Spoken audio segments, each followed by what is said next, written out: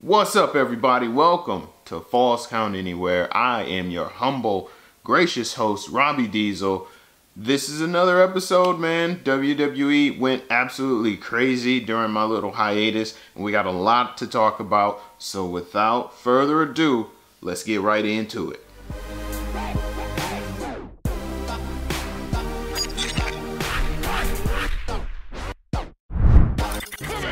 So we have to talk about the superstar shakeup. Um, both brands made some really, really big moves. And initially, I thought Monday Night Raw was the winner. I, I thought Raw was just going to blow SmackDown out of the water. But now, looking at the grand scheme of things, with the moves that they made, SmackDown put themselves in a position to be the number one show like in terms of storyline, in terms of superstars, the whole shot. So before I get into my thoughts on that, the, the big moves that you need to know, there was four on each show, okay?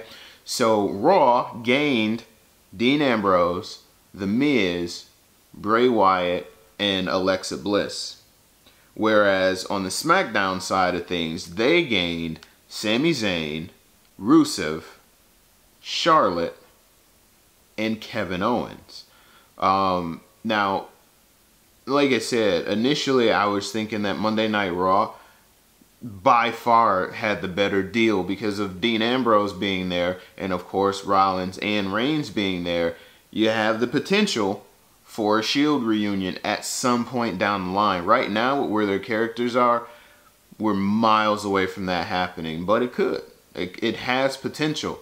Um, one of the biggest things that you'll see from Raw um, during this Superstar Shakeup, and they've already began to tease it, is you're going to see Bray Wyatt feud with Finn Balor, which is going to be amazing. Now, personally, I kind of wish this feud would maybe be happening around WrestleMania time, just solely for the sake of entrances. Like both Bray Wyatt and Finn Balor would have nutty, insane entrances at WrestleMania. And I know that's going to happen next year, especially with them being back in New Orleans for WrestleMania 34. But be that as it may, um, I'm really excited and looking forward to uh, Bray Wyatt versus Finn Balor. If anybody could put over the Demon Balor character, it will be Bray Wyatt, and it will be done masterfully. Watch. On the SmackDown side of things, um, I'm really looking forward to uh, AJ Styles versus Kevin Owens. That is already in the making. Um, AJ Styles won a uh, six-pack challenge to become, um, or I'm sorry, not a six-pack challenge, a fatal four-way to become the number one contender for the U.S. title. U.S. champion, of course, is uh, Kevin Owens.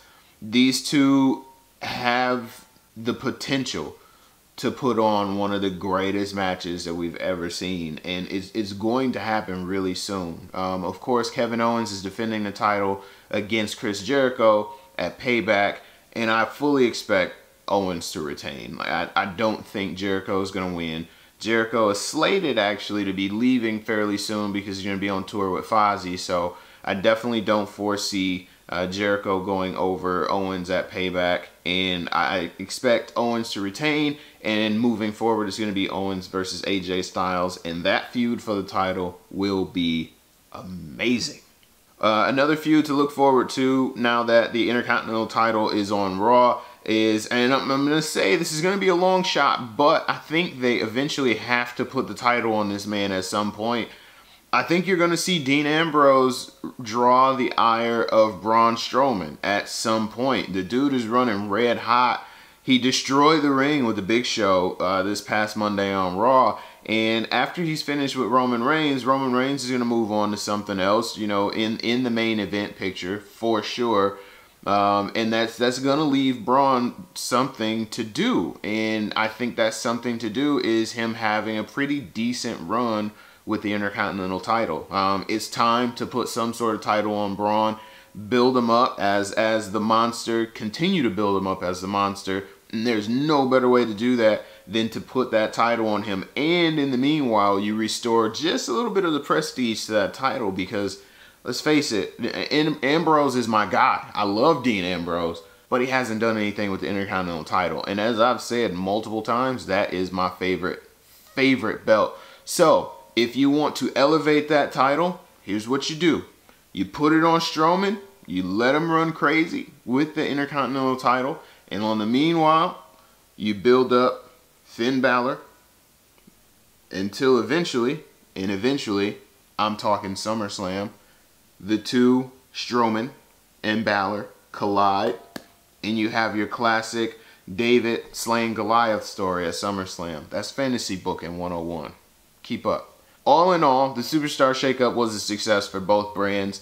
Um, the most interesting thing that I'm looking forward to see because you know they're going to have to tell this story. Um, I'm looking forward to see which which woman superstar is going to become the first woman to be both Raw and SmackDown Women's Champ. Um, they're running parallel right now. Alexa Bliss, of course, is on Raw now. Charlotte is on SmackDown. Both women have won uh, a shot at the title. Um, so Charlotte is going to be challenging Naomi over on SmackDown for the women's title. Alexa Bliss is going to be ch uh, challenging Bayley over on Raw. One of these two women is going to become the first ever Raw and first ever. To the question I heard. Alexa heard Alexa. One of these two women are going to be the first ever uh, woman to hold both the Raw and SmackDown Women's Championships. And the smart money is on Charlotte for sure. She has an incredible win-loss streak at pay-per-views and is already a four-time women's champ. But I think WWE might pull a little bit of a swerve because Naomi is incredibly over over on SmackDown, and it would be really, really fun to see uh, her and Charlotte create really, really good matches together. On the opposite end of the spectrum, um, Bayley's run as women's champ honestly has kind of started to lose steam too, and you can't make light of the fact that, uh, or I guess you can make light of the fact that Alexa Bliss is easily the best talker in the women's locker room right now. So I fully expect to see her go over Bayley before Charlotte goes over Naomi. So Alexa Bliss is going to hold that distinction as being the first woman to be both Raw and SmackDown Women's Champion. On SmackDown Live this week, you had a six-pack challenge for the number one contendership to Randy Orton's WWE title. And we had a surprising winner, man. The the winner ended up being Jinder Mahal. He came out on top of, you know, Ziggler and Zayn and Mojo Rawley. Uh, he emerged as the number one contender, and there was a lot, a lot of Jinder Mahal hate on Twitter. And um, to that, I say, if you don't like Mahal, Jinder Mahal being number one contender, then you're not a fan of wrestling. Flat out. SmackDown is doing what SmackDown does, and that's create really good storylines out of nothing. When Jinder Mahal was on Monday Night Raw, he was losing consistently to just about everybody, right? Now that he's on SmackDown, he's immediately propelled into the spotlight. Dude is a, a good heel. He has the potential to be a good heel decent in-ring worker. I know that he was a good in-ring worker all the way back in NXT, and he never really got the chance to shine on the main roster because he was saddled with the whole 3MB gimmick. And I just, I think that this is a great move on SmackDown's part. Why? A, you create instant interest in Jinder Mahal. And if you don't know, WWE has always had a huge interest in cracking into the Indian market. And what better way, what better way than to create a heel contender for the biggest championship in the company. Yes, the Universal Championship will always be second to the WWE title. That's just the way it is. What better way to break into that market than to have this guy compete as uh, or against your number one guy in the company. I mean, he's in phenomenal shape, the best shape he's ever been in his career. Um, he's going to do good work uh, against Randy Orton. He's going to work a match that is very, very familiar with Randy Orton's pacing. And he's instantly a throwback to kind of the, the 80s and early 90s of professional wrestling. There was always people who we thought didn't deserve a shot at the title, and that didn't mean that they were going to be champion right away. They just created a storyline, something for the champ to do until somebody else stepped up.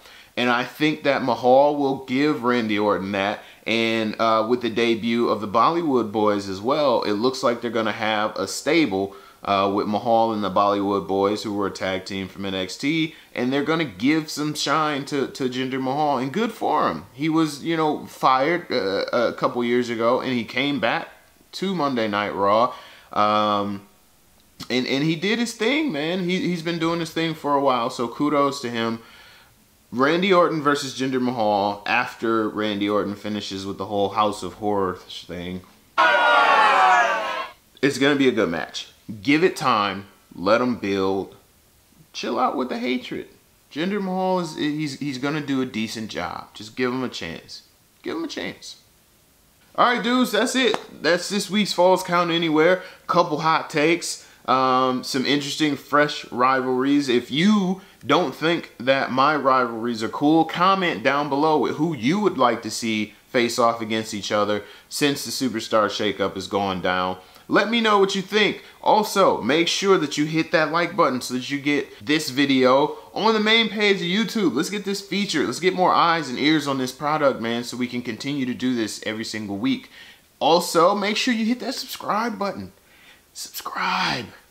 I am one person away from a hundred, and then I'll be 900 away from a thousand, and then so on and so forth. Let's just keep building this channel, guys. It's great content all the time. Um, we're going to have some Comic Con stuff up really soon. I appreciate the support, but let's keep pushing. Let's move this thing. Um, hit that subscribe button. You'll get everything, and it'll be good stuff. I promise you that. I am Robbie Deezle. You can follow me on Twitter via at Robbie Deezle. Make sure, hop over there and follow me. I always tweet about wrestling and other weird stuff. Join the conversation. Let me know what you think on Twitter. Comment down below on this video. This has been Falls Count Anywhere. I'll catch you guys next week. Peace.